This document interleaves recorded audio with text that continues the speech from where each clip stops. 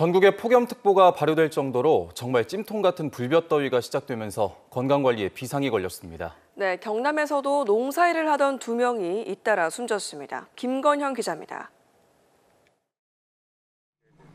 지난 28일 낮 11시 20분쯤 경남 밀양의 한 비닐하우스에서 50대 남성이 쓰러진 채 발견됐습니다.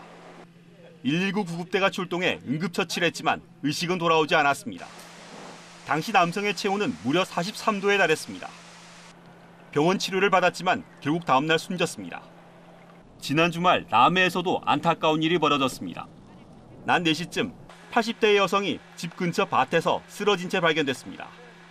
발견 당시 이미 맥박과 호흡이 없었습니다.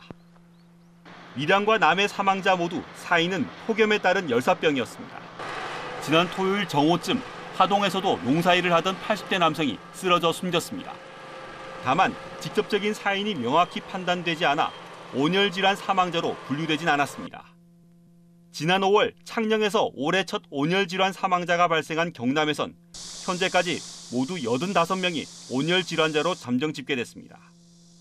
소방당국은 폭염 시에는 낮 시간 야외 활동을 최대한 줄이고 물을 자주 마실 것을 당부하고 있습니다. KNN 김건영입니다.